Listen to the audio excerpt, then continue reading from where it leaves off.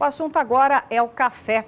Eu trago números divulgados no último levantamento da Conab, Companhia Nacional de Abastecimento, referente ao estoque privado de café de 2016. Bom dia, produtor. Destacando o mercado do café nesta manhã de quarta-feira. Veja que, de acordo com a Conab, em 2016, os estoques privados somaram 9 milhões 860 mil sacas. Em relação a 2015, quando foram contabilizadas 13 milhões 590 mil sacas, a queda, de acordo com a Conab, é de 27,4%.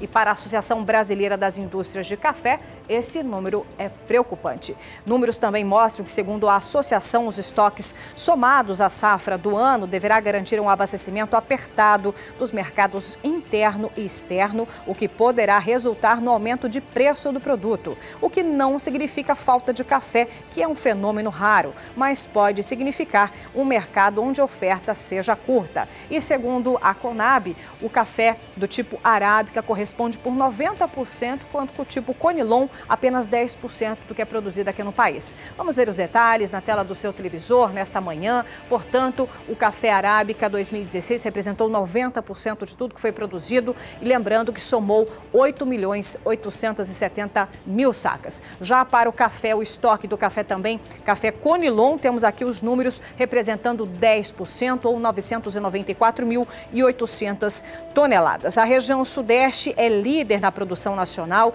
e é responsável por 90,7% do estoque total brasileiro na safra 2016.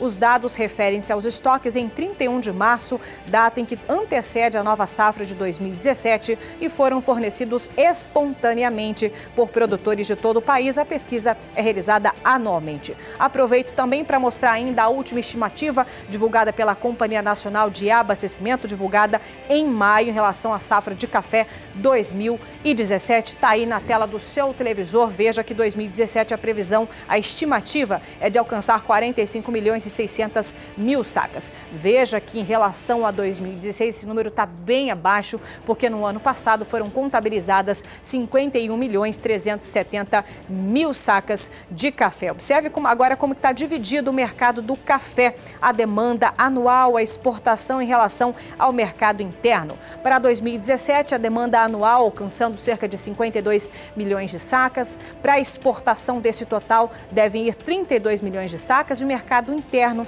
deve consumir aproximadamente 21 milhões de sacas. Em 2017, caso seja confirmada essa expectativa de safra, a produção mais o estoque deverão somar cerca de 55 milhões e meio de sacas para abastecer esses mercados. A queda se deu segundo a Associação Brasileira das Indústrias de Café devido ao clima seco. E falando em preocupação, o setor também está preocupado especialmente com o café Conilon, o mais popular no mercado interno e o que mais sofreu com a seca dos últimos dois anos. Os cafés vendidos nos supermercados geralmente são uma mistura de Conilon e Arábica. Essa última é uma espécie mais suave, com variações que permitem a produção dos cafés gourmet, que são mais refinados. A produção do café Conilon está estimada em 10 milhões e 100 mil sacas em 2017 e o estoque privado em 2016 foi um menor entre as espécies, com 994 44.800 sacas. Está aí o cenário de 2016 e a previsão e expectativa, de acordo com a Conab, em seu último relatório para a safra de café 2017.